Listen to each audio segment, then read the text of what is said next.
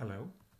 This is to introduce CsoundQt 095 some new features for you.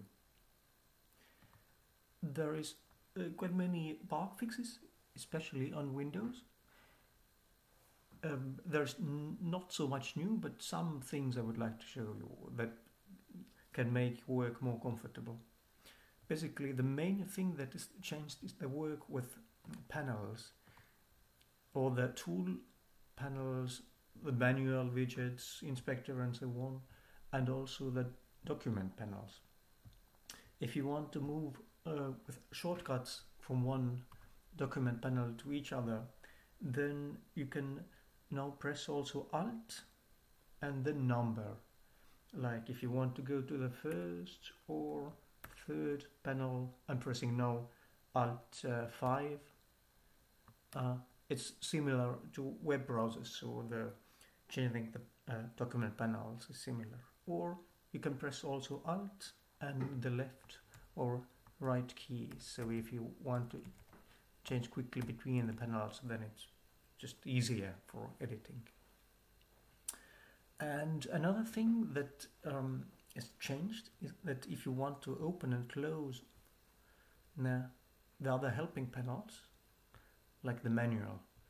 Um, so before, when you press the shortcut for showing or hiding manual, then it always comes and goes.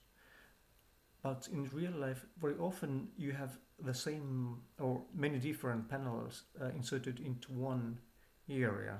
Like here I have opcodes and or the help panel and widgets placed into the same area and if you want to change quickly between them now there is uh, shortcuts. Control 1 for widgets control 2 for opcodes uh, control 3 uh, is the console 4 is for HTML and then so on.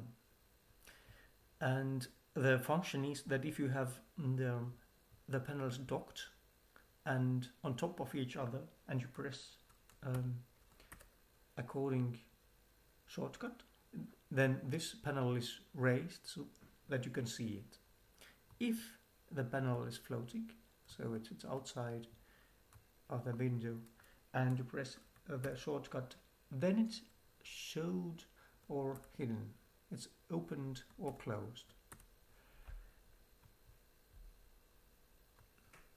Uh, so I think it, it uh, makes your editing uh, easier. Since it was quite a change in the shortcuts, you must go to keyboard shortcuts and then press restore defaults. Then the new uh, shortcuts are activated. Also, when you first time run uh, CsoundQt 095, then you get an, a warning message that suggests you to do uh, this uh, shortcut um, renewal. Uh, another small thing that might be useful sometimes that uh, all widgets that have text uh, the text size was limited to 99 before, but sometimes you just need as big numbers as, as possible. And now you can go until 1000. So if you need really big numbers that are easily uh, seen from the big uh, screen from uh, far ahead. Uh, then you can all the uh, mm, display, uh, label, scroll number, and everything that has a font size in them um, can be made just much bigger.